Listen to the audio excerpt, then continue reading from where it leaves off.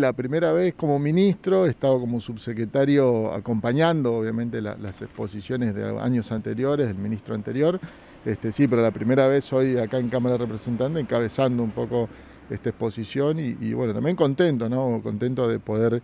eh, presentar no solo las cuestiones presupuestarias, sino contar un poco cuál es la política de fondo que proponemos en el marco de esa ejecución presupuestaria, que me parece que es lo más rico, digo, de poder explicar cómo pensamos las estrategias de corto, mediano y largo plazo para el sector eh, este, del sector rural y cómo hemos empezado a definir políticas rurales este, eh, a partir de esta gestión concretas, que durante muchos años las políticas rurales estuvieron definidas por organismos nacionales como el INTA, como la Secretaría de Agricultura Familiar y, hemos empezado a definir políticas desde el gobierno provincial concretas y eso nos va a permitir justamente eh, poner los recursos que venimos a, plantear en el presupuesto en donde creemos y donde nos creemos que es lo mejor para, para todos los misioneros. ¿Cuál es la partida? ¿Hay algún mejoramiento presupuestario con relación al que está en ejercicio? Sí, nosotros tenemos casi un, mejoramiento presupuestario de casi un 30%, este, eh, distintos incrementos en, distintos, en distintas áreas. Este, estamos hablando de más o menos unos 800 millones de pesos de, incremento. Este, y, bueno, eso, eso nos lleva a nosotros eh, a, orientarlo en algunos ejes principales de, trabajo. Ese incremento, este, obviamente, eh, él tiene, tiene principalmente un fin que es el fin de fondo, que nosotros decimos es, es del principio y del, final, que es el arraigo rural. ¿no? Es decir, todo lo que nosotros nos proponemos es promover el arraigo rural. Entonces, en base a esa lógica de trabajo, este, y, para complementar, incluso el arraigo rural no solo pensando en, arraigar a los jóvenes, a las familias de las zonas rurales, sino incluso en este contexto de pandemia nos ha mostrado que hay ha habido un retorno a la chacra, o sea, no solo un arraigo en sostener, sino incluso hoy es más hasta una cuestión de promoción y de, la vuelta a la chacra, o sea, la chacra, la vida en la ruralidad se ha vuelto marco de una vida eh, eh, con menos, menos presión, con menos estrés, con menos eh, influencia, como hemos visto en la zona urbana, donde afectaciones como, el coronavirus tiene mucha más vinculación, entonces eso ha generado también en producir los alimentos, sus propios alimentos, el autoconsumo. Entonces, bueno, ha, promovido una vuelta a la chacra, un retorno eh, bueno, y eso para nosotros es sumamente positivo. Con una gran herramienta como la tecnología. Exactamente, bueno, y ahí es donde justamente trabajamos en los otros ejes. Los ejes son eh, la agregación de valor y la industrialización de la ruralidad, o sea, generar agregado de valor en origen, que para nosotros es el fin máximo también, porque eso no solo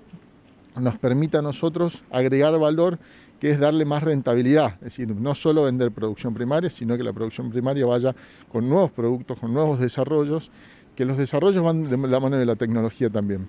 E, e instalar pequeñas industrias o, un poco más grandes, depende obviamente de qué producto estamos hablando, de qué escala y de qué volumen, pero generar pequeñas industrias nos permitan en la ruralidad justamente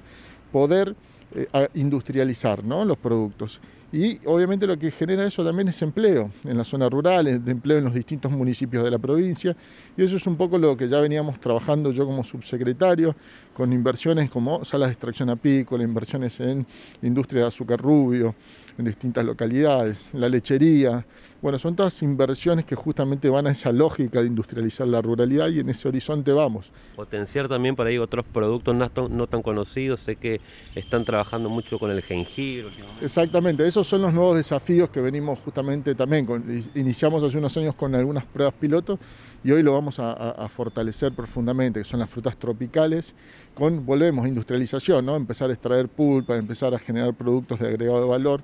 Este, y con nuevas actividades, el mango, este, venimos trabajando fuerte con maracuyá, eh, bananos, vamos a ir a algunas pruebas que se habían hecho en su momento y queremos retomar, que el gobernador de la provincia lanzó, estamos esperando fondos nacionales para una inversión en una industria para mamón y ananá que se va a hacer en, la zona de Aurora. Este, bueno, todas esas actividades con el jengibre, que ya lo, hemos contado, la, la cebolla morada que está teniendo un gran desarrollo, estamos armando una cuenca de desarrollo productivo en la zona de San Vicente, todo ese tipo de, cuestiones que, contribuyen a nichos y contribuyen también a la economía doméstica, ¿no? Que va de la mano a la, a la chacra tradicional y a las producciones tradicionales del té, de la hierba, del tabaco, poder contribuir con nuevas eh, herramientas productivas, nuevas herramientas tecnológicas y nuevas herramientas que permitan generar un mayor ingreso a nuestros productores, que va todo eso de la mano con el arraigo. Y eso va también de la mano justamente con asistencia técnica, acompañamiento que hemos hecho y desarrollado un equipo muy fuerte en los primeros meses del año eh, para hacer ese, proceso. Profesionalizamos la extensión rural y eh, implementamos una nueva lógica de extensión rural que es la interdisciplinariedad, es decir, trabajamos no solo ya con veterinarios, ingenieros agrónomos, que incorporamos un núcleo muy fuerte de ingenieros agrónomos en territorio, sino también incorporamos trabajadores sociales, sociólogos, economistas, ingenieros en alimentos. La verdad que hemos, trabajado interdisciplinariamente justamente para poder cubrir todos esos eslabones, de la producción primaria hasta la comercialización como fin último. Muy claro lo del arraigo, también cuáles son los ejes, si tuvieras que mencionar el gran objetivo para el 2021. El objetivo del 2021 es esto, estamos eh, avanzando con obras concretas, vamos a estar,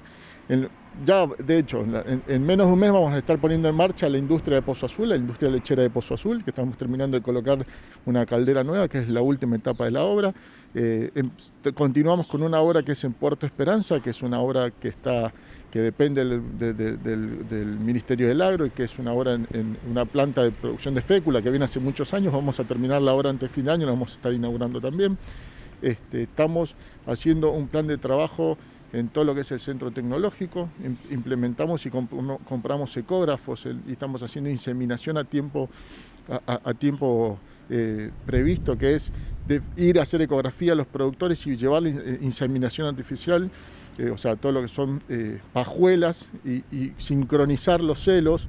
de todo el rodeo lechero principalmente, es donde estamos trabajando hoy, y estamos haciendo inseminaciones. Eh, entonces, la verdad que tenemos en realidad muchos objetivos, no podría definir unos, pero sí es empezar a concretar estos, estos máximos, o sea, objetivos máximos que son la, industrialización, que son esto, ¿no? Poner en marcha determinadas industrias y continuar con un plan de inversión en, en otros tipos de industrias